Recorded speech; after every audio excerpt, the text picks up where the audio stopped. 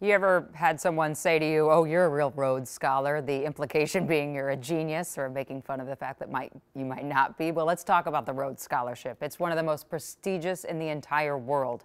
It offers students the opportunity to study at the University of Oxford for free. And joining next year's scholars is a St. John's University graduate who is also making history for St. John's. He went back to campus this week, and Heidi got to talk to him. At St. John's University, Jervon Sands is back on campus, representing not just his college, but country. This is a collage of Bahamian students. Jervon is the second Rhodes Scholar in St. John's history, and the first in more than 50 years. I remember just feeling like an overwhelming sense of gratitude. Um, I think I literally just like shook in place. The acceptance rate for the scholarship is about 0.7 percent. Jervon, who is from the Bahamas, was one of 10 finalists in the Commonwealth Caribbean. He was chosen in November along with about 100 other scholars across the world. I was proud of myself because it had been a long journey. Like five months after starting the application, I was getting this announcement.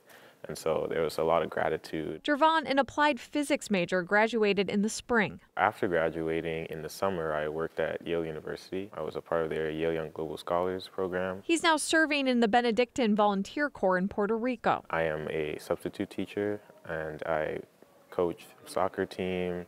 I'm helping out the students in like different club areas, making presentations. I just recently did a poetry workshop. But at the University of Oxford, Jervon will be focusing on climate justice with the Bahamas in mind. One of the challenges that we've been facing is accruing immense loss and damage through hurricanes and not having the opportunity to focus on climate adaptation because we are one of the lowest lying um, island nations in the world. And so we are really under threat from rising sea levels.